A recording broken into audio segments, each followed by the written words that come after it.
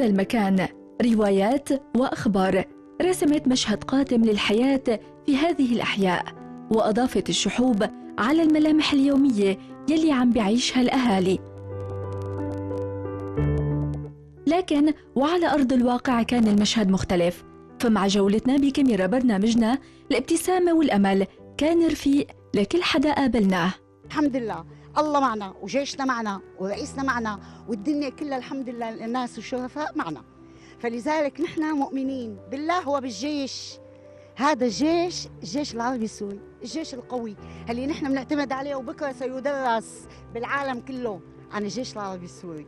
قديش عنده آه، آه، إيمان قوي وقديش عنده آه، عقيدة قوية وقديش عنده حب لوطنه وحب لأرضه وحب لشعبه.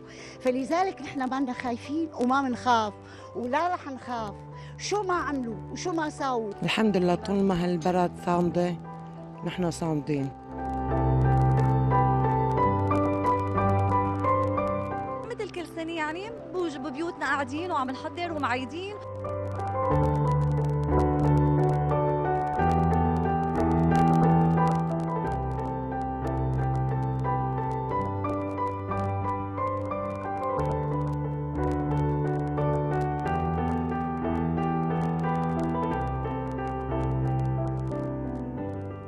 حضر البيض والكعك والهيك والضيافة والواجبات. الناس متهيئة يعني ببسط ولكن مش البسط ذاك البسط بسبب الآلام اللي قاعدين مرت عليهم. الشعب السوري شعب حي ما بيموت. مهما حاولوا يموتوا فينا ما رح نموت. ونحن عايشين وباقيين ومو تاركين البلد وبدنا نعيد ونستقبل الرب يسوع ونحتفل بالقيامة.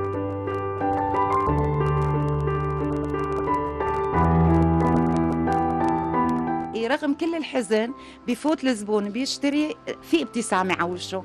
الشعب تعود إنه يكون مبسوط. ما رح يعني هي الشغلات اللي عم تصير بإذن الله رح تدفعنا للأعلى مو لل... مو لأكثر من هيك. بقينا مكفيين بجولتنا وتواجدنا بقلب بيوت لا زالت عم تحمل الدفع رغم قساوة الحرب وألم القذائف يلي حصدت معها الكثير من الأبرياء. أنا بالله هديك الأيام كانت كتير كتير صعبة علينا.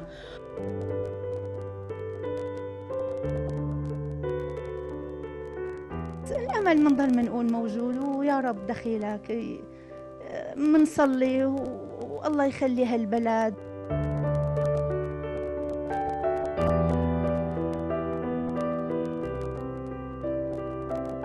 نحتفل ونهار العيد طالعين.